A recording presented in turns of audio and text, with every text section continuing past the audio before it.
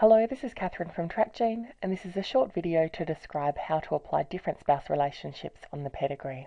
To modify the spouse relationship, right click right in the middle of the spousal relationship, and this gives us different groups that we can apply to that relationship. Group 1 allows us to change from married to casual, separated, or divorced. Each relationship can only belong to one group, so we can change that to divorced and if we want to remove those lines, then we just change it back to married.